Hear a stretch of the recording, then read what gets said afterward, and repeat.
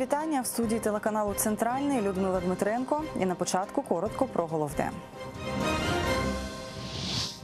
Полтаву накрило снігопадом. Чи справляються комунальники? Згоріли вщент складські приміщення будівельної компанії Полтавтрансбуд. 3 грудня міжнародний день людей із інвалідністю. Перший сніг у Полтаві за ніч з 2 на 3 грудня випало близько 12 сантиметрів снігу. Комунальники говорять, до хуртовини готові. Зночі чистили дороги, зранку тротуари, парки та двори. Про наслідки снігопаду далі.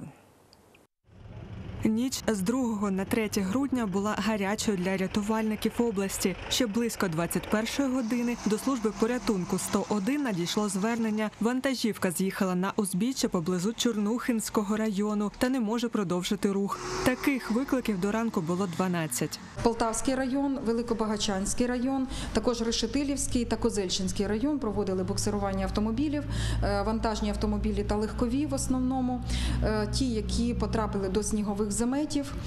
І всього вилучено 12 одиниць техніки. Дороги державного значення залишаються проїзними. Повідомила речниця служби автомобільних доріг у Полтавській області Юлія Іващенко. Роботи з розчистки проходили попри активний трафік, який подеколи заважав снігоприбиральній техніці. Протягом цієї ночі нашими підрядниками на автодорогу державного значення було висипано близько півтори тисячі тонн протиожеледної суміші. На автодорогах працювало 106 механізмів та близько 130 робітників, які забезпечували проїзд. Що ж до міста, його почали прибирати з центра до околиць. Першочергово чистили тролейбусні маршрути. На вулицях тротуари чистять працівники комунальних підприємств ЖО2 та декоративні культури. Вночі з 2 на 3 грудня в місті працювало 33 одиниці техніки. Е, 3 грудня зранку вийшло 345 двірників на вулиці та тротуари міста Полтави. Е, Постійно відділ на зв'язку з патрульною поліцією та тролейбусним управлінням Все добре. Дороги розчищені, транспорт. Да, да. Причому і, і я йшов, і трактор за мною йшов. Втім, поодинокі скарги від полтавців все одно є. маршала Бирюзова по кругу, по нашей как бы основной полтавской артерии, э, вот, э, по кольцевой. Все утром было засыпано, и видно, что ночью не расчищали. Просто машины все раскатали, и, и дорога превратилась в лед. Возле подъезда у нас вообще не прочищено, еле вышли. Ну, а тут вроде более-менее нормально.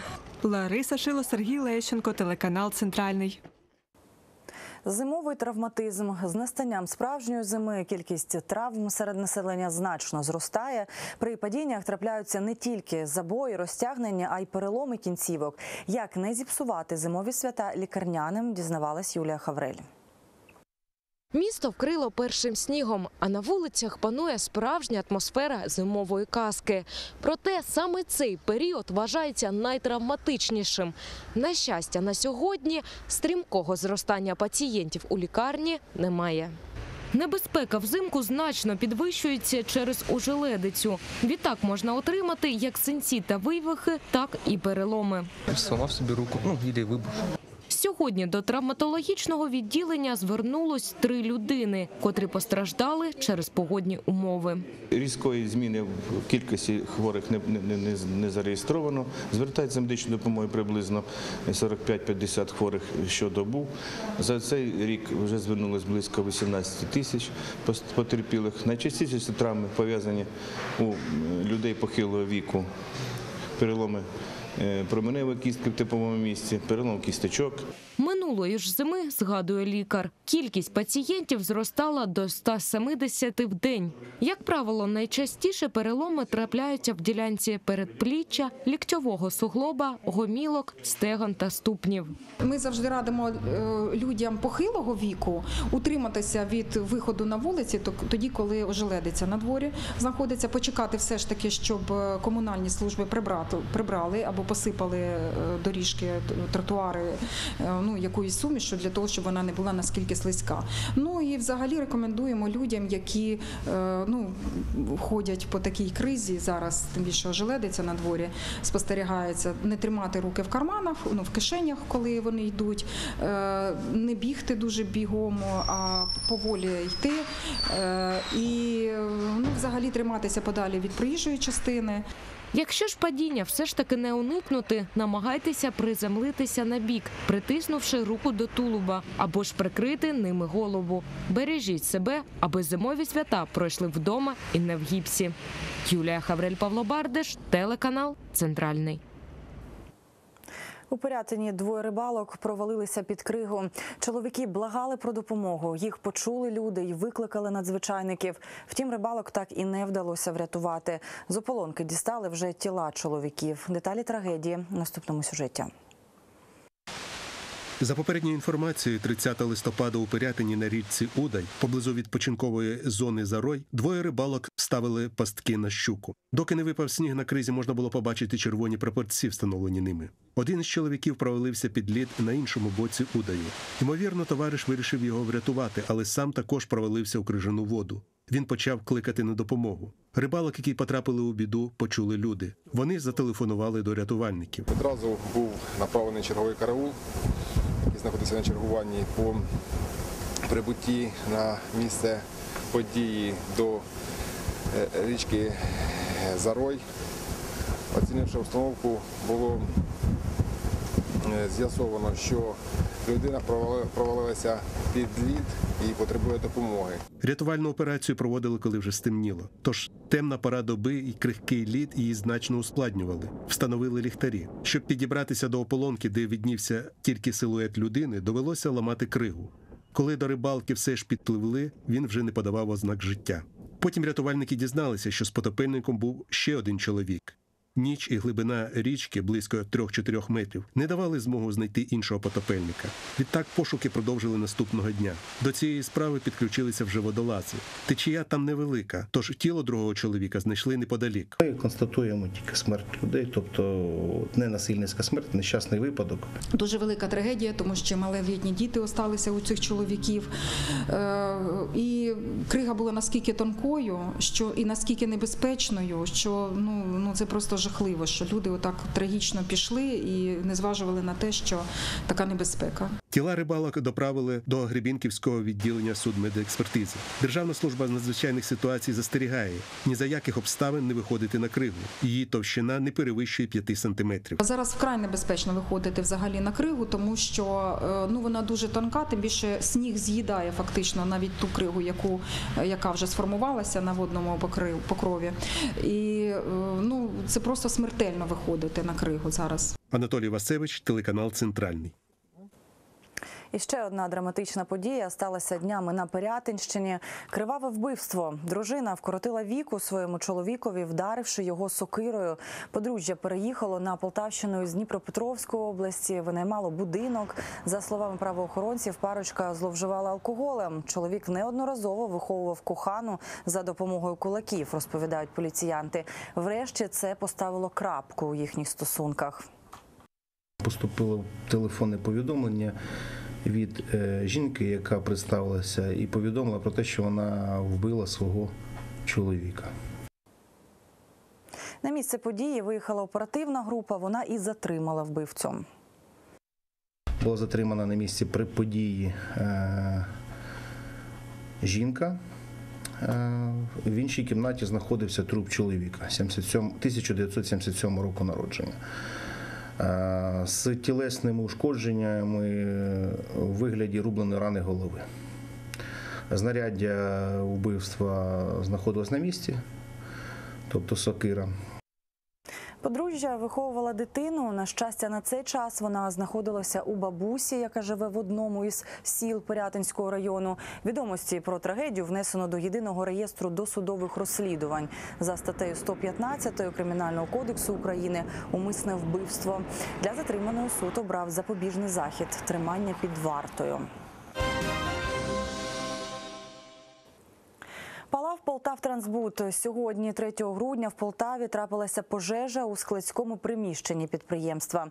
Гасили її близько 6 годин. Для ліквідації вогню залучили 42 бійця та 12 одиниць техніки. Вигоріло близько півтори тисячі квадратних метрів. На щастя, поранених та загиблих немає. Подробиці в сюжеті Марини Покшиної. Сьогодні, 3 грудня, тут, у складському приміщенні підприємства, трапилася пожежа. Постраждало приміщення не лише цієї організації, а й сусідньої. Повідомлення про загорання на САКО пожежникам надійшло о 5.15. Горіла покрівля на площі близько півтори тисячі квадратних метрів. Крім цього, знищена й готова продукція. Рятувальники приступили до ліквідації пожежі лише після знеструмлення будівлі. О 10-й годині ранку свої офісні речі вивозять працівники сусіднього підприємства. За словами одного з робітників Віталія, вони займаються прибиранням приміщень. Але тепер їм потрібно шукати іншу будівлю. Мовляв, у цій залишатися не можна. Та ви речі вивозите через пожежу? Да, да, да, да, да. А дуже багато пошкоджено. Там все пошкоджено, тому що здання непригодне. Там стіна ушла э, туда вовнутрь и э, эксплуатировать нельзя вообще. То есть. А вікна самі, скажіть, пошкоджені? Нет, снаружи тут нормально, а там же ж глухая стена. Вот то есть стена ушла, там же завалилась с той стороны. Конструкція сама. Да, да, да, да, да, конструкция завалилась, эта сторона-то целая, вот, а с той стороны там уже все. Палали склади підприємства Полтавтрансбуд. Задимлення було сильним, розповідають рятувальники. Причина горілий пластик.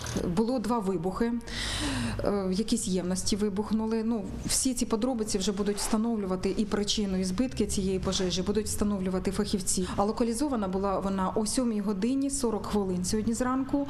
І працювало 13 одиниць техніки та 47 чоловік. До гасіння залучався і пожежний потяг Укрзалізниці та п'ять їхніх працівників, розповідає Світлана Рибалко. Травмованих та постраждалих немає. Причини загорання будуть з'ясовувати слідчі. Збитки теж будуть відомі пізніше. Марина Покщина, Ігор Лук'яненко, телеканал Центральний. На Полтавському міському сміттєзвалищі наводять лад. За останній рік його практично все пересипали землею, обладнали під'їзні шляхи. Тут менше тхне смородом та відчутно зменшилася кількість пожеж. Усі роботи здійснюються за рахунок КТП 1628. Побувала там і наша знімальна група. Останнім часом міське звалище відчутно змінилося. Раніше на ньому було багато величезних куб сміття. Тепер же значна територія вкрита землею. В даний момент пересипкою міського звалища ґрунтом. Зараз краще набагато, чим було раніше. Необхідність упорядкувати звалище виникла досить давно. Воно працює із 1954 року, і за цей час жодного разу купи сміття, що лежали просто неба, не пересипали землею. Хоча, згідно з нормативами, це необхідно було робити. Тож кілька місяців тому комунальники вперше в історії взялися за пересипання. Нині результат уже досить відчутний. Ця частина, яку ми перекрили е, землею, вона вже не горить.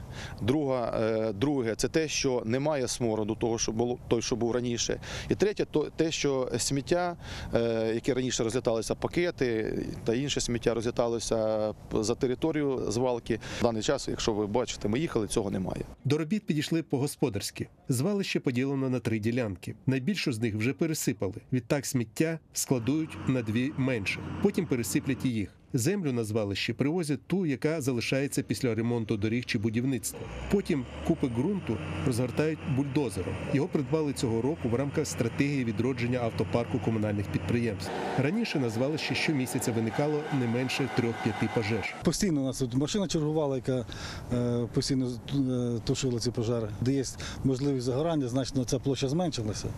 А відповідно, вже ж ну ви самі бачите, що на інертному матеріалі на землі, на, на глині, на щебні на цьому, то вже горіти не буде так. За останні кілька місяців змінилося, коли почали пересипати звалище.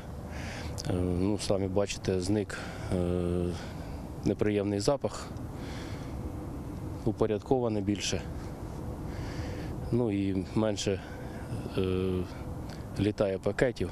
Необхідні роботи з облаштування звалища здійснюють виключно за рахунок КТП 1628. Внутрішні ресурси для цього з'явилися завдяки фінансовому оздоровленню підприємства, розпочатого майже рік тому. Тож відтепер міське звалище має зовсім інший вигляд. Його строкате забарвлення більше не впадає у вічі людям, які вглядаються вдалечінь із полтавської білої альтанки. Я вважаю, що це є досить непоганий результат за такий короткий термін часу, от, е, як і для комунального підприємства, так і для нашого міста, для наших громадян. Анатолій Васевич, Сергій Сипітий, телеканал Центральний. У Полтаві триває монтаж новорічної ялинки. Наразі на театральній площі працюють робітники КП декоративні культури. Вони збирають каркас новорічної красуні. Візуально обіцяють буде нагадувати минулорічно. Усі роботи виконують за схемою. Робітники з'єднують каркасні труби. На них триматиметься штучна хвоя. Каркаси і огорожа будуть ті ж. Другим етапом стане обрамлення каркасу хвоєю та новорічними іграшками. Стан її добрий, крім процентів 20, а саме 250 гілочок. Ну це такі півтораметрові е, гілки, набори хвої. Яку ми одягаємо на каркаси, сесія Полтавської міської ради нам виділила на це 50 тисяч гривень.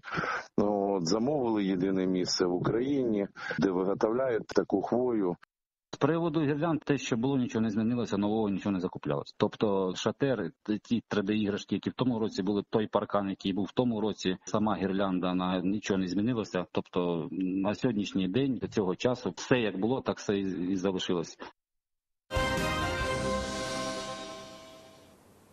Зневажений геноцид. Доля ромів у зоні німецької окупації України під час Другої світової війни. Під такою назвою Полтавському краєзнавчому музеї імені Василя Кричевського відкрилася виставка, що стала результатом міжнародного проєкту. Її організаторами виступили Берлінська спілка, освітня ініціатива з роботи заради миру та Український центр вивчення історії Голокосту із Києва. Виставка складається з 20 стендів і містить архівні документи та сімейні світлини. Представляє особисті історії тих, кому пощастило пережити геноцид. На одному з них розповідь Ольги Волошиної, яка зараз живе в Житомирі, але була свідком вбивств ромів у Миргородському районі. Це моя бабуся, розповідає голова громадської організації Миргородські роми Микола Чернявський. Що вона розповідала? Що приходили німці, спалили їхнє село, спалили їх її дядька, батька, маму. Всю сім'ю спалили. Ну, за її красоту її, її спасла її красота. Її поліцай викинув із-за її красоти. Інколи німці, е, наприклад, хапали е, кочовий якийсь табір, який мандрував якимось лісом, да, вважали їх спочатку шпигунами, такими, що пересуваються, можуть супротивнику дати якісь відомості, партизан підтримати. Але це було характерно для 41-го року. А от вже починаючи з 42-го року, е, німецькі окупанти перейшли до повного тотального винищення ромського населення, причому і ось кочових, як раніше, так і осілих вже. Як розповів Микола Чернявський, в нашій області зараз проживає вісім ромів, свідків того геноциду у Білках, Санжарах, Лубнах. За словами ж організаторів виставки, проект покликаний донести до якомога ширшої української та європейської аудиторії історію геноциду ромів України за часів нацизму. Адже ця драматична тема десятиліттями була абсолютно недослідженою, та й саме суспільство не дуже хотіло чути про їх трагічну історію. Є якісь е, дуже загальні уявлення про те, що ну, начебто, з ромами таке відбувалося, але через те, що націонал-соціалісти е, переслідували їх просто за те, що роми були асоціальними елементами, не хотіли працювати. Насправді це не так. Ідеологічне підґрунтя були це була расова ідеологія. На українських теренах цей геноцид був особливо жорстокий. Тут лише в німецькій зоні окупації було знищено близько 13 тисяч ромів. А якщо брати землі, що контролювали румунські війська, ця цифра сягатиме й до 25 тисяч. Для невеликого етносу це дуже великі втрати, говорять науковці. Дослідження дозволяють нам дійти висновку, що на теренах України фактично ну мало не всі роми були вбиті під час націонал-соціалістичної окупаційної нацистської окупаційної політики. Тобто це дуже відрізняється, до речі, від ситуації по інших країнах Європи, окупованої колишнього радянського союзу. Наприклад, в Литві ми маємо, що ну третина ромів е, м, е, таку трагічну долю спіткала. Виставка працюватиме у Полтавському краєзнавчому музеї два тижні. Її матеріали представлені в інтернеті на сайті Українського центру вивчення історії Голокосту. Окрім неї, створено серію відеороликів. А незабаром в Берліні буде відкрито німецькомовну версію виставки. Сергій Блавацький, Сергій Сепітий, телеканал Центральний.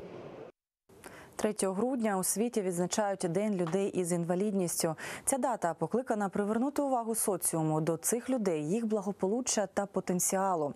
У Полтаві на базі початкової школи номер 43, де з 2011 року в інклюзивних групах виховують та навчають дітей із особливими освітніми потребами. Цього дня провели особливе свято за участю самих учнів. Катерина Жаркова, тренерка з плавання та матір сонячного п'ятирічного хлопчика, не рекомендує віддавати особливих дітей до спецзакладів або лишати вдома. Колясіку дуже подобається. Він контактує дуже добре з дітками. Вони від до нього відносяться також дуже гарно. Так, у початковій школі номер 43 працює дошкільний підрозділ та початкові класи. Інклюзивні групи діють в обох структурах. Можна навіть не погодитися про так про таке тлумачення, як діти з особливими потребами. У них немає особливих потреб. У всіх дітей потреби одні. Вони потребують любові, вони потребують дружби, вони потребують навчання. У закладі є чотири ресурсні кімнати, де з дітьми з особливими освітніми потребами працюють вчителі індивідуального навчання, дефектологи, логопеди та практичний психолог. Ефективність інклюзії доводити не потрібно, говорить вчитель Олена Вовненко. Навіть мінімальний успіх кожної дитини це вже успіх. А в нас їх дуже багато, більше 30 дітей, які мають особливі освітні потреби. І успіх кожної дитини кожного дня досягається. Сьогоднішнє свято покликане ще більше об'єднати та здружити дітей, підкреслити, що всі вони рівні та мають однакові права, діляться освітяни. Ми не говоримо цих медичних діагнозів. Це наші особливі діточки, це наші особливі перлинки, наші особливі хлопчики, яких надзвичайно багато. І ми включаємо в загальні групи. Вони спільно на святах, спільно на прогулянці. Лариса Шило, Сергій Лещенко, телеканал Центральний. У Верховній Раді відбулася акція до Всесвітнього дня боротьби зі СНІДом. Депутати та працівники парламенту проходили швидкий тест на ВІЛ. Своїм прикладом вони закликали українців піклуватися про власне здоров'я. Деталі у сюжеті нашого власного кореспондента Ольги Соломахи із Києва. Поки стоїть в черзі біля пункту тестування, фотографується з прихильницями. Народний обранець Жан Беленюк посміхається. Каже, перед експрес-тестом на ВІЛ не хвилюється, адже перевірки такого роду робить часто, до чого закликає й інших. Я думаю, що усім людям треба періодично проходити подібні е, маніпуляції, тому що це дуже важливо і дуже прикро, коли люди, не знаючи, е, розпространяють е, подібні хвороби.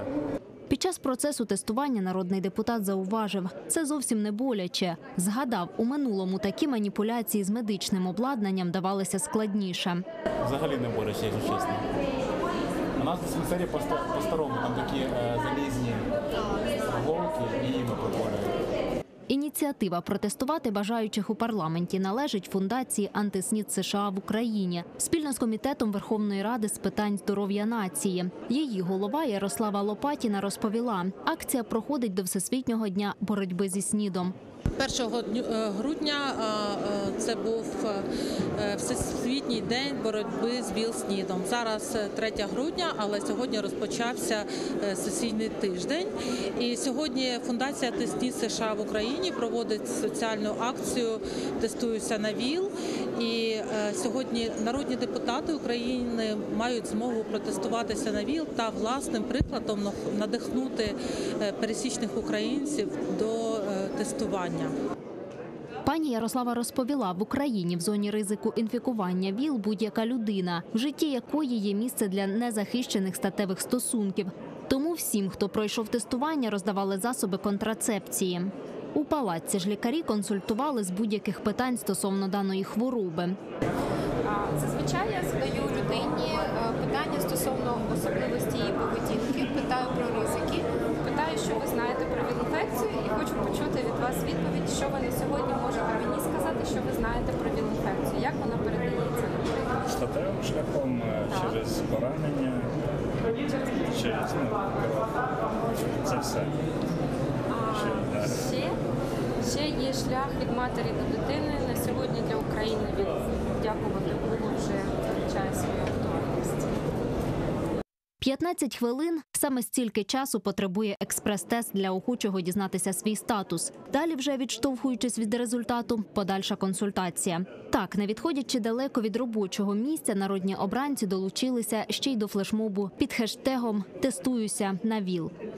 Все дуже просто, тому проходьте е, перевірки, щоб всі були здорові і щасливі. Марина Покщина, Ольга Соломаха, Орест Пона, телеканал Центральний.